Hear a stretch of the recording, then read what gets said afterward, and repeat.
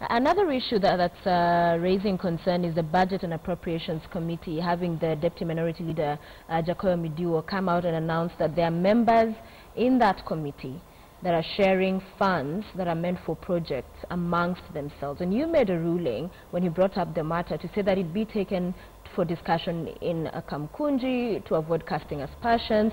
But this is not the first time he's raised concern over this. He'd raised an alarm over the same. There was a direction that was given by the speaker. So in this particular matter, because corruption, again, as we have that national discourse, members of parliament are some of those that are tainted and in this particular case as well. So why didn't you want this matter um, canvassed in the House? I think, Sophie, it's important for us to, to also, um, you know, these are, we are all leaders, I'm sure, you know, and uh, this is a, a, a, cancer. This whole issue of corruption is a cancer that is, um, that is, uh, that really is, is a big issue in our, in our society right now.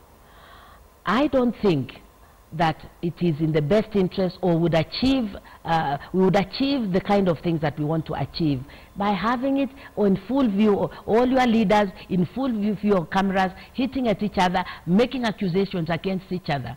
A, a much more productive uh, a conversation is because this is about themselves. But it's interesting. You should this say that, themselves. It's interesting you should say that because we will be showing a clip shortly of the security laws and Mm -hmm. the chaos you know, that erupted. And you sat through those sessions and yes. went through it, no matter what full view glare of the world watching, the manner in which that uh, session degenerated. So is it right for you then now to sit here and say that it's because you do not want to put these issues out in the public. And yet we've seen the worst of Parliament, really. No, no, no, you have.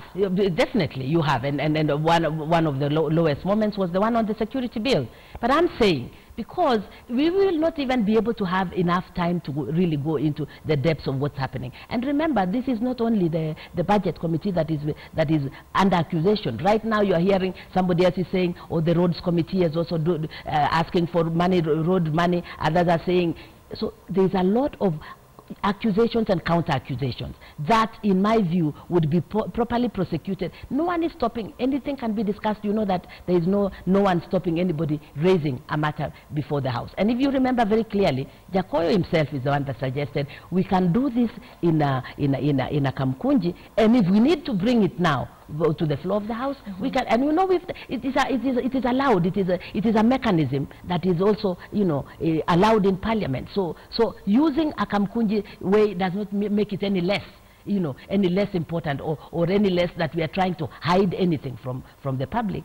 Already the matter has been raised in the public. So people know exactly what is happening. All I'm saying is the whole thing of accusations, counter accusations, because there are uh, allegations, there we will need to then go and verify. Then we can be able to, uh, if there is need, then bring it to, to the floor.